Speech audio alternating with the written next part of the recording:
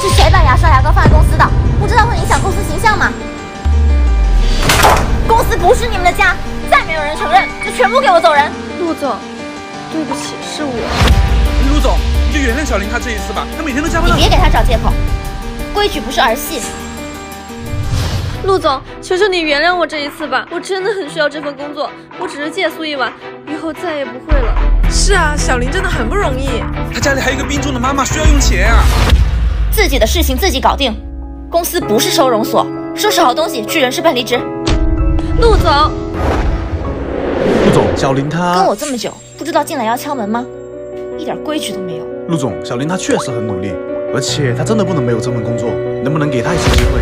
我知道他很努力，但是我必须开除他。妈，你放心。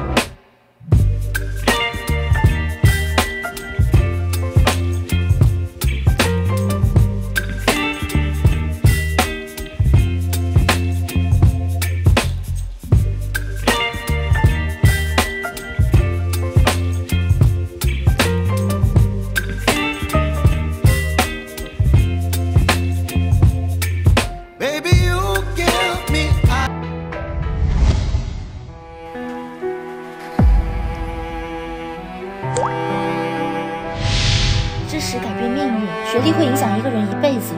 我不想他后悔。陆总，小林，你在公司期间尽职尽责，我也很想你留下。不过比起上班赚钱，你应该还有更重要的事情要做吧？我相信凭借你的努力，完成学业之后，肯定会有更好的发展。陆总，道理我都懂，但是。